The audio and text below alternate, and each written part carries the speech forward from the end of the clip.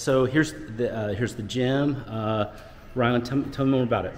It's open 24 hours. We have plenty of options to choose from. Okay. Cardio area, free weights as well. Wow. Okay. Cool. And uh, good good amount of ellipticals and treadmills and stuff. Um, it's a pretty good size. I like that the ceilings are super tall in here too. So this is all good. Um, you do have uh, kettlebells. Man, my brother did these kettlebells. He did them before they were cool. And so now I see them and I'm just like, oh man, that's so you know whatever. It's so popular now. But anyway, uh, everybody's doing them. A lot of people are doing them. Um, cool. And so and then you do have some free. Uh, uh, dumbbells that are over there too uh, to add to the machine. So cool. And it's right by the pool.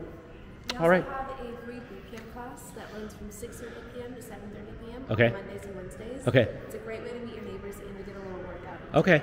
Okay. Cool. Cool. Our trainer Chris is awesome. Honestly, the classes kick my butt, but Have you? I was gonna say I, I need to go. Have you gone? I have. Okay. Good. Because, um, we do them on the top floor of our parking garage. Okay. So it's kind of more like a HIIT workout. Oh, okay. Okay. Cool. Cool. Right. Good for you. Okay. And then here's the business center. All right. Cool. It's open 24 hours as well. So a little bit more co-working that you can do in here, and this is a sealed off room. It's it's going to be super quiet. Uh, trust me, it's super quiet. Uh, so and then oh yeah, they even have a little coffee machine in here too. So you can you know you're starting to sleep a little bit in the afternoon, you can juice back up. We also have free printing on your counter as well. Oh, very nice. Okay, very very cool. Uh, pff. Okay, what? I love this.